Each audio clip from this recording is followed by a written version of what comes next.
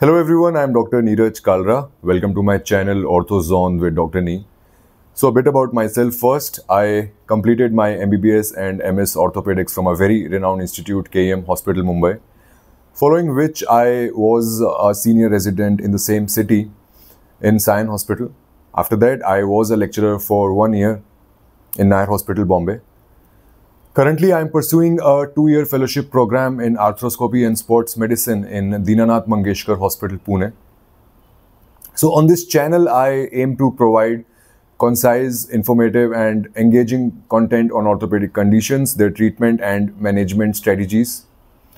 In my first video, apart from this introductory one, I will be talking about a condition called as femoroacetabular impingement specifically the CAM type of FAI and the things which we need to look for in the x-rays. So thank you so much and uh, I hope you all find my content quite engaging and easy to understand. Let's dive into the world of orthopedics together. Thank you so much.